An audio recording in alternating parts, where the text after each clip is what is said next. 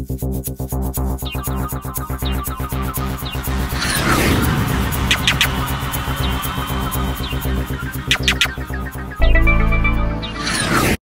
is Brian Jakovich, and welcome to Stelligent Screencast.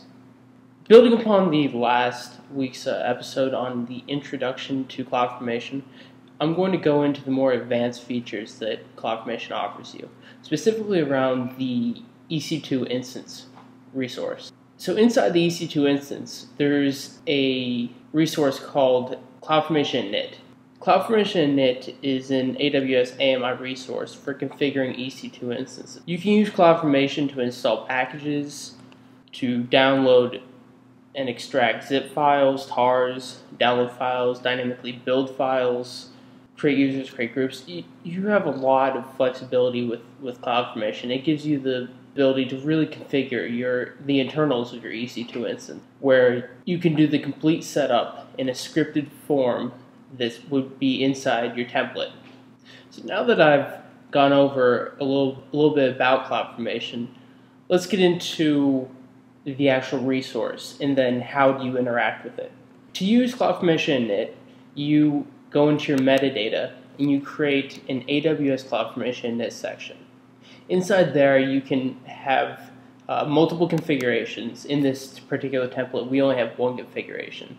And inside configuration, you define a bunch of resources that you want to install or build or uh, download. So here, I'm using the packages and then I'm using Yum. There's a list of multiple package management tools that you can use inside packages.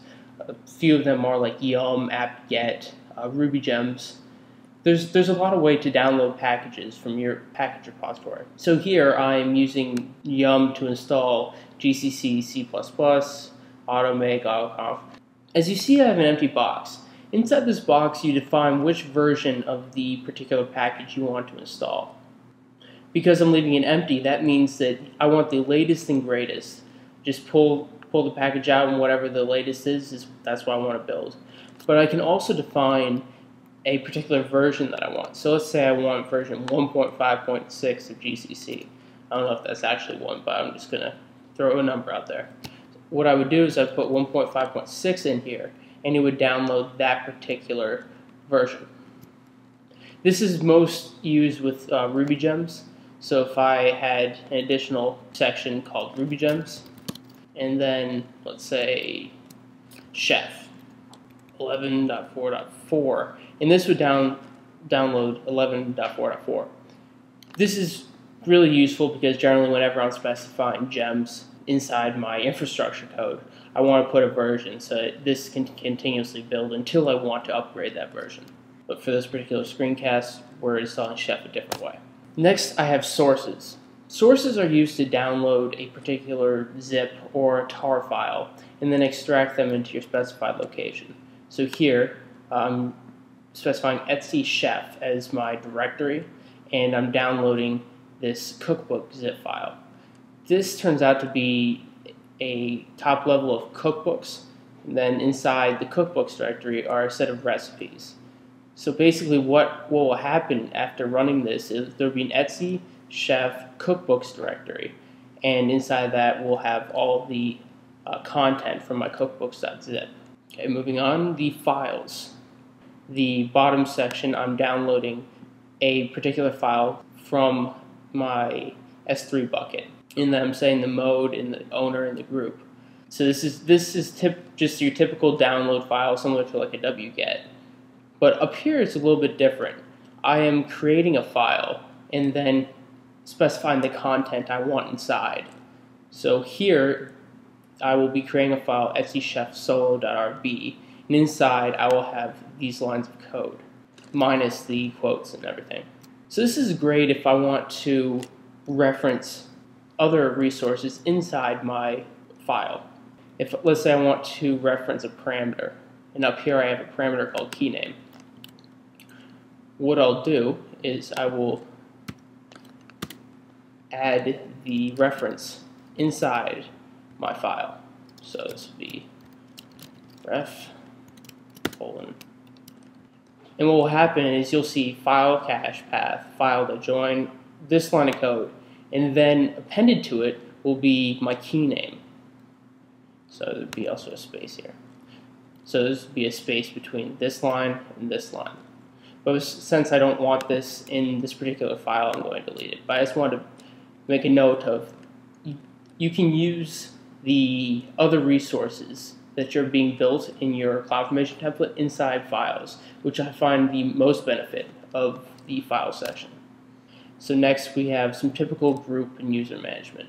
This will just create a, a group 1 and group 2 and set the group ID. There's other parameters that you can give this, but for this particular example, I'm only setting the uh, group ID to 45.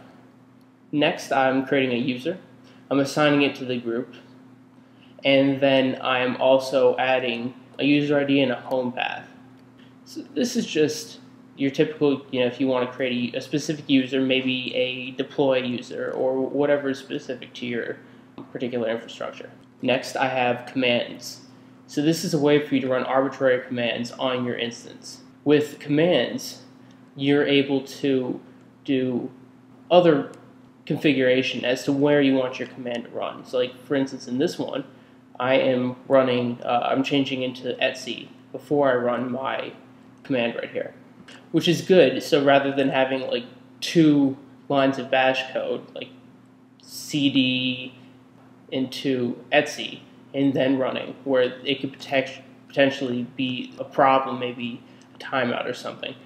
The command deals with that right here. So it's a little more powerful than just, just running straight bash. And then next I am doing uh, uh, the chef solo run. Basically what this does, it just runs chef solo and passes in the solo.js and solo.rb to configure the run. And then I'm changing into a uh, the etc chef directory. Lastly, we have services. And remember I was referencing the HTTPD package that I was building, well, down here, I am setting the server, uh, start, starting the service. I'm setting it to true and then making sure it is running. So it will, it will start the service. So this gives you a lot of power to executing particular tasks that you want. Uh, there is an execution order, so packages run first, sources run second, files run third, and then groups and users run followed by commands and services. So I'm pretty sure this is in the correct order as to the the running of execution order, but you can just go to the Amazon docs if you have a particular execution order that you need. So why that would be important is you would I wouldn't want Chef to run if my Chef package hasn't been installed. So it also takes away some of the flexibility you might want. In this particular uh, set of code, I want to install Ruby 19 Devel before I do anything else. So I am having to, instead of using commands, I have to just basically script this in, into straight bash. So that's inside user data is where you, where you do it. Basically, user data, you can create your own bash file that will run at the startup of your instance. So what I'm doing is I'm updating the bootstrap, basically doing the installation of Ruby 1.9.3 and then I'm doing the installation of Chef right here. So all this is done before CloudFormation init is called upon, because CloudFormation init is called right here when I do opt AWS bin cfn init, and then pass in the resource to do this on. All the so all the pre-work is done here, and then CloudFormation init is called. Now that I've explained a little bit about how CloudFormation works and, and the various resources, I'm now gonna we're now gonna do a run of CloudFormation and see what builds. So at the end of the run, I should see that all these packages are, packages are installed. I'm just going to check to see if uh, Apache is installed. And then there should be a cookbooks directory in etc chef. And then inside cookbooks, SoloRB, Solo.js file, a new user, a new, new group, and then chef solo should have run. And what that will do is it will download Git. So if it all works as as expected, we should have Git. Alright, so now I'm going to go over to my CloudFormation section, create stack, episode 2. I'm going to upload my template.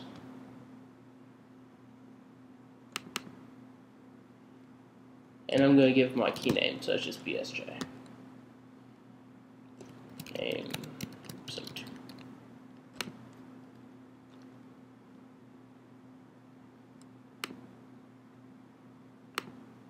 Okay, now our CloudFormation stack is complete. Now I'm going to go into the EC2 instance and confirm that everything that we thought was installed and configured actually was.